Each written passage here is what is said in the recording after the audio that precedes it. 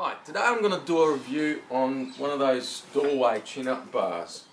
Uh, you can pick these up from um, eBay for around, well, under 30 bucks anyway. And I got this one um, on eBay. It's just arrived, so let's take a look at it.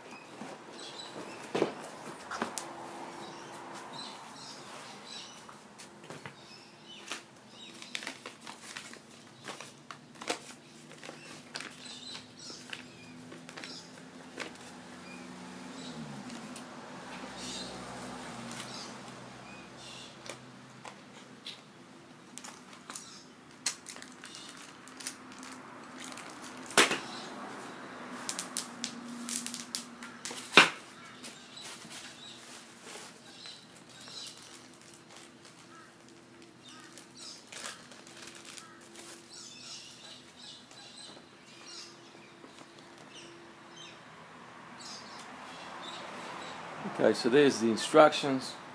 So I'm going to go ahead and put it together and show you what it looks like.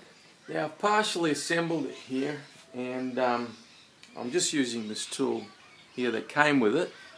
And one thing that surprises me is the, the quality of this thing. I mean the metal is, is heavy, heavy gauge metal. It's um, fairly solid. These bars are really solid so they're not going to bend or break and I'm surprised you can get this type of quality for under $30 so just um, just thought I'd point that out. So I'll go ahead and finish assembling. So here it is fully assembled. It feels pretty solid pretty heavy. Say about a kilo or so. Um, alright let's try it out on the on the doorway. Okay so here it is in the doorway. Now it comes out quite easily there you go, and it goes on quite easily. Now it also comes with um, a couple of these brackets that you can, um, you're supposed to mount on the inside here on, onto your wall so that holds that bar, so essentially underneath there. Now the problem that I've got is that my wall is actually uh, thinner. My walls are thinner than the width of the of the bar here, so it doesn't quite sit right. So I've tried putting the bracket in, and the bracket is not flush against the wall when I um, apply pressure on it. So if I had it mounted, I've got a gap here on the side, I might have to figure out, you know, how to what to do about that gap.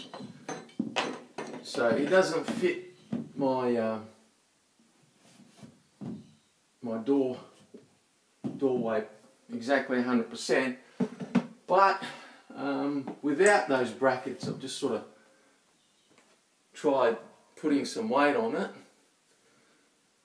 just carefully and slowly, and I could hear the the um, frame complaining a, a little bit, but here it is with my whole weight fully off the ground and it seems to be holding no problem. So trying the outer ones.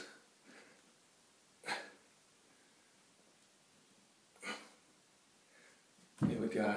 So, um, yeah, so this, this particular door frame is not the sturdiest, but it seems to hold my weight nevertheless without the brackets. Um, you might have a different situation. You might want to put the brackets on. Um, in my case, those brackets are just not going to work.